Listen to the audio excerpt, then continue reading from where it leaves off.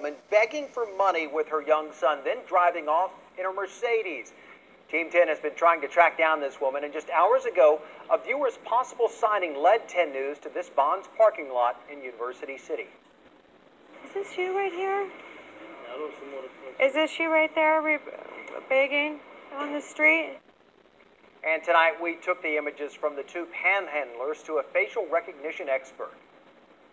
And 10 News reporter Emily Valdez is live at the Vons tonight. And Emily, what happened when you confronted this woman?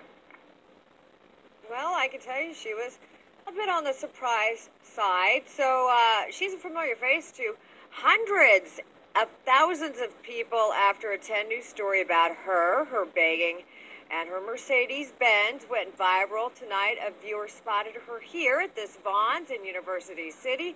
And this is also where we came out and confronted her.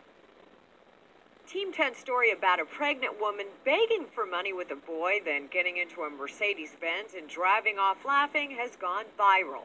A viewer took these photos of the pregnant beggar and the little boy panhandling in Bonita. The viewer mm, says mm, the mm. woman is sometimes joined by a man. That's him driving the Mercedes. Yeah, I just thought it was interesting that they were out here in a completely different area. Viewer Rebecca Smith saw the 10 News story and recognized the family begging at this Vons on Regents Road in University City. She contacted us and we went to the Vons.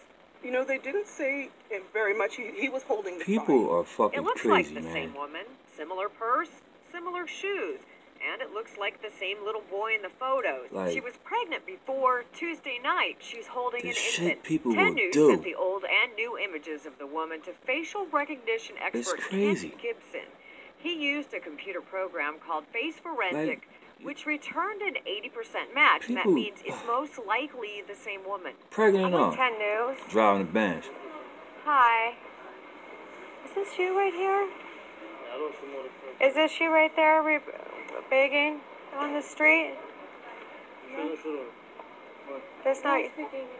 No speak English? She I don't speak English. Where Yeah, right. in Spanish. No, ¿dónde está su coche? This is sad. Mercedes? They need to go to fuck the job. No. He said, "What Mercedes?" Then they switched from Spanish to another language. Then they walked away from us.